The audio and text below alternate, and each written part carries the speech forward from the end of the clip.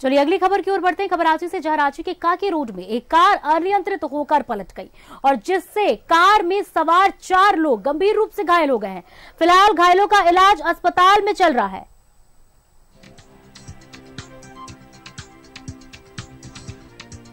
तो देखिए, अनियंत्रित होकर कार पलट गई और चार लोग इसमें गंभीर रूप से घायल हो गए हैं।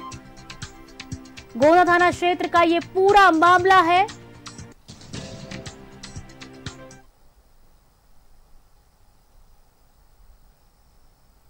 देखिए अनियंत्रित होकर कार पलट गई और ऐसे में कार पर सवार चार लोगों की हालत गंभीर हो गई है। हादसे में चार लोग घायल हो गए हैं। गोंदा थाना क्षेत्र का ये पूरा मामला है। घायल सभी लोगों का इलाज इलाज अस्पताल में चल रहा है। तो ये खबर जहाँ पे बता दें कि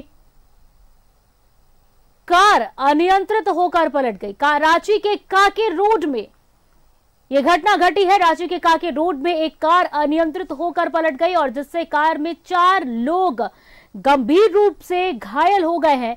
फ़िलहाल घायलों का इलाज अस्पताल में चल रहा है।